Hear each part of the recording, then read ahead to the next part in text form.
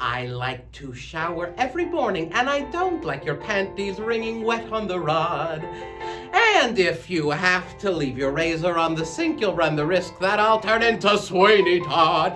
As I'm a crazy kind of guy who can't predict when nature calls or hunger seizes me.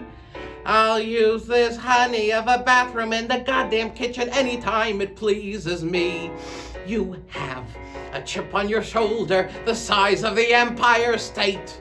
Call your charm school and ask for a refund while I hyperventilate. Get a booster shot for distemper. Then try not to rave and to rant. Lamb chop, you're living on an Elliot Garfield, an Elliot Garfield.